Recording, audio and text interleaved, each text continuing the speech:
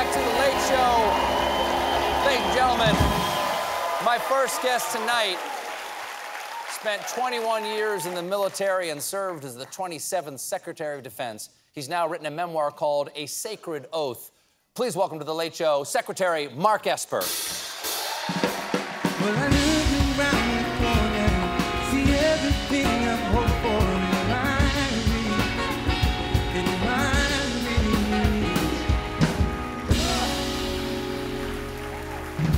Secretary, th thanks for coming on. I was supposed to have you on uh, last week when I got my second bout of COVID. Thanks for, for boomerang. Yeah, you're a super spreader, aren't you? I am, I am, I am.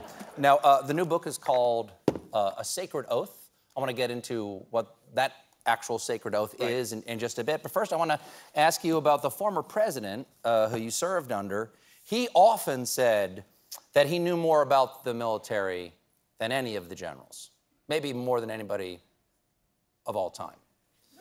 As a uh, Secretary of Defense and a West Point graduate, what was your assessment of the former president's military knowledge? Uh, I thought you were going to ask hard questions. uh, the answer would be no. Mm-hmm. Because he does not know more than the generals and admirals. Does he know more nor, than, nor, say, nor an average person on the street?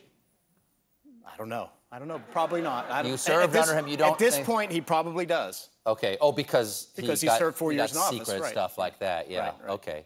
Um, there are many examples in the book here of the president demanding loyalty uh, to himself as opposed to the Constitution. Right. Uh, same sort of thing that Jim, Jim Comey talks about mm-hmm. in his book.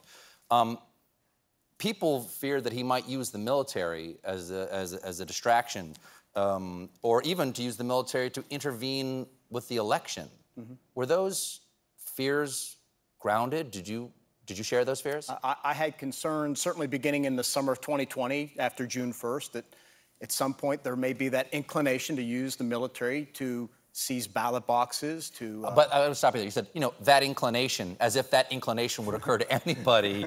it's a dire and traitorous inclination, isn't it? Yeah, no, it would be it would be violating one sacred oath to the Constitution, the one that all elected officials take. It would be uh, absolutely. Okay, and so what did you do in response to that perceived threat?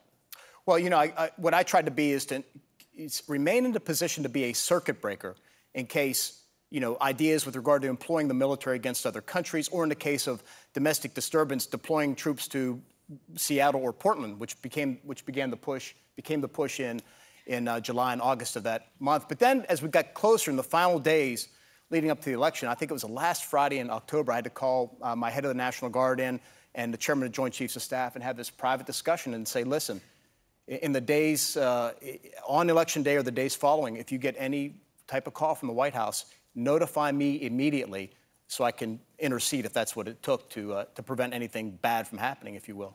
So you would say we're not going to send troops in to seize the ballots? No. Uh, that, well, I mean, the president yeah. might have ordered that. That we, we, we learned from your book that that was a consideration. Right. So, and, and that's why the position of Secretary of Defense is so important because the only two people in the United States that can deploy troops are the president and the Secretary of Defense. So it was critical for me to be in that position to be the circuit breaker in case somebody wanted to do something, whether it was deploy troops to suppress protesters or deploy troops to, you know, to grab a ballot box, whatever the case may be. And of course, we learned in December, I'm out of office now over a month, that people had come to the White House and proposed this in, in late December of 2020. And this eventually becomes the reason why myself and nine other former secretaries of defense write this note on, Jan- on January 3rd, 2021, warning the Pentagon to follow your oath uh, do not get involved in the election. So why are you gone at that point? Why are you? Do you resign or are you fired? I got fired November 9th. Um, I was told through what his. What did you do? He's a reasonable guy. What did you do? I, I followed my oath. Okay. Uh, okay. So uh, yeah, I get the call from Mark Meadows, the chief of staff, around 10 to 1. He says, "Look, uh, you're being replaced. Uh, you uh, you haven't been sufficiently loyal." And Again, I, to the president. To the president, the right? And, yes. and I and I respond. Uh, that's his prerogative, but my oath is to the Constitution, not to him.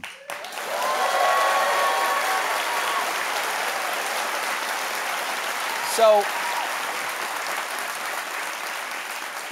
it's a weird it's a weird position to be in, and, and, and I want to get to in just a little while. And people have criticized you for not telling us this before, right. and I've heard some of your answers on sure. that, and I, and I understand some of the rationale. But before we get to that, I want to ask what it is like for you as a, as, a, as a military man, as a West Point graduate. Is there a class they teach at West Point on how to protect the country from the commander in chief? And if not, and I mean this seriously, do you think there should be a class from this moment forward? You know, I, I took my first oath, as I described in the book, on uh, in July 1982 when I became a cadet at West Point. Right, my first of a dozen oaths. And during my time in service, I served on active duty for 10 years and war and all that. You know, I never really had to consider the oath and what it means, and I never had to consider really deeply duty, honor, country, which are the which is the motto of the academy. And it wasn't until this job where I reached the point that day in and day out, I'm asking myself, what, is my duty?